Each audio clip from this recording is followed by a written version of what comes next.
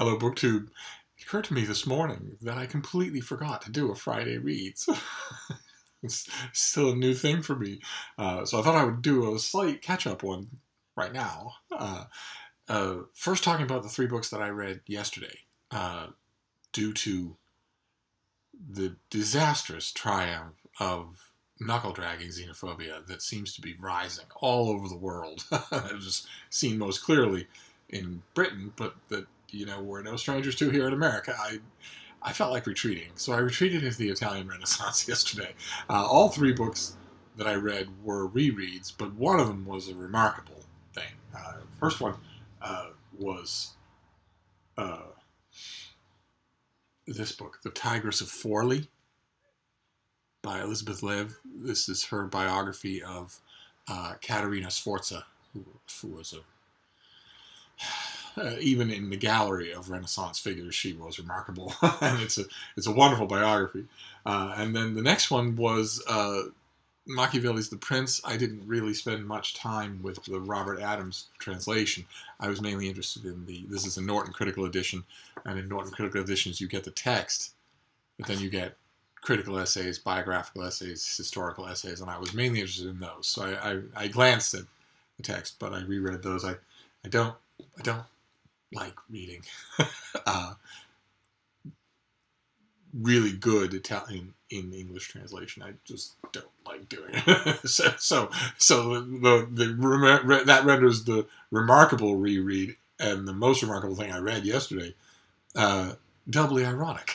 it's it's the new new volume in the uh, I Tatti series of Renaissance Library editions. This is the uh, the Angelinetum and the Carmina Varia of uh, this guy, Giovanni Marrasio, who was a 15th century humanist and doctor from Sicily, who uh, he said be that because of his Sicilian origins, because of his backwater origins, he was never more than just a sort of fringe hanger on on the Este court. Uh, when he wanted to rise much higher than that, uh,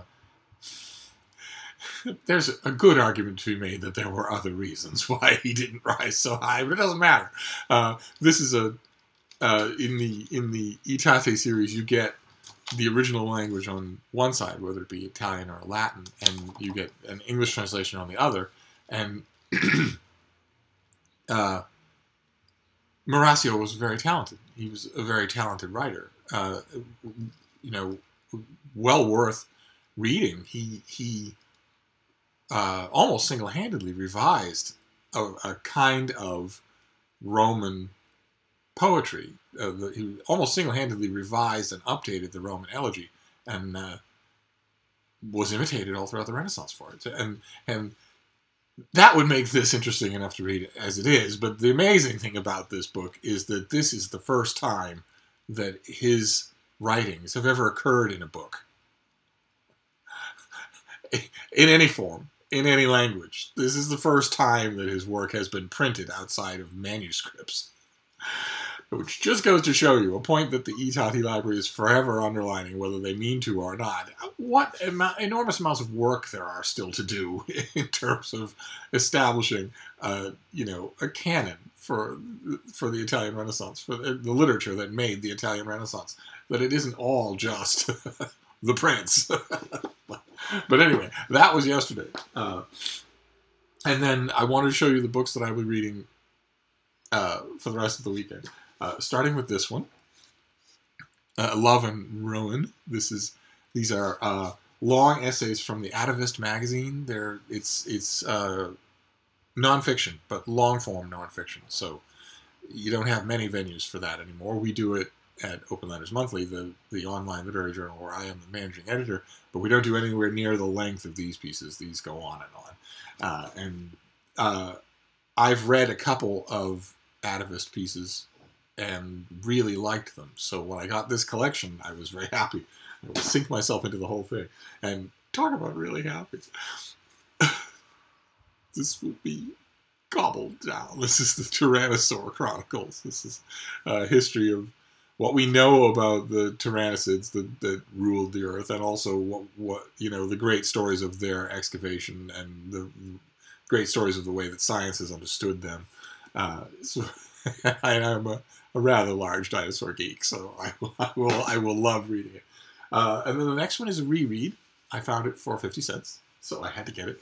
It's Nicholas Monsarrat's The Cruel Sea, about uh, a corvette during World War II that guards shipping convoys, um, brings vital supplies to England, guards those supplies, and also takes its share of hits from German U-boats, uh, and even in in one amazing scene, saves some crew members of a German U-boat that it has that it has sunk.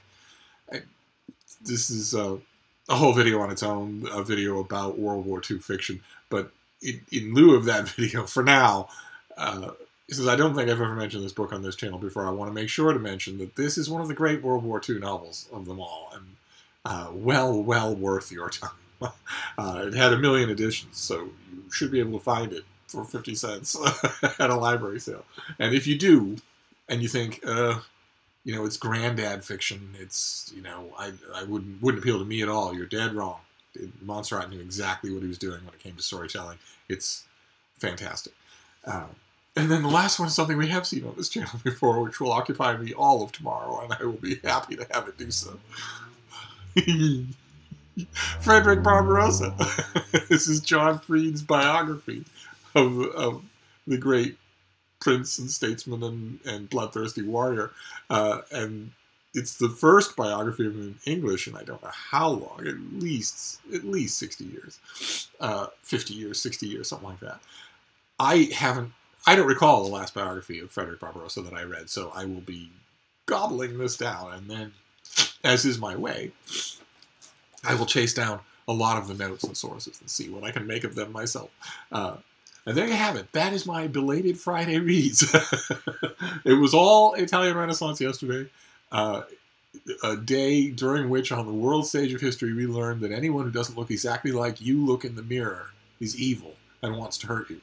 Uh, so I retreated from that into the into the Italian Renaissance, where yes, people cut off their enemies' heads, but at least they were civilized.